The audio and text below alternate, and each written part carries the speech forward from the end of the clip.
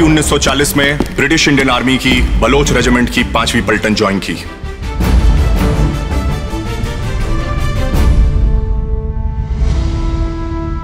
हिंदुस्तानी सिपाहियों ने जापानीज का बहुत बहादुरी से मुकाबला किया और उन्हें जापानीज के हवाले कर दिया गया। हिंदुस्तान और अंग्रेज़ों के बीच एक धागा था। वो टूट गया। गद्दारी की कोई माफ़ी नहीं होगी।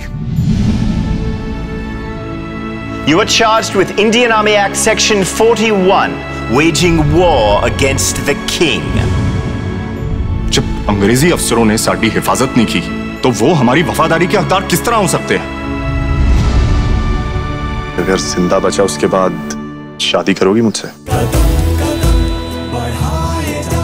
खुशी के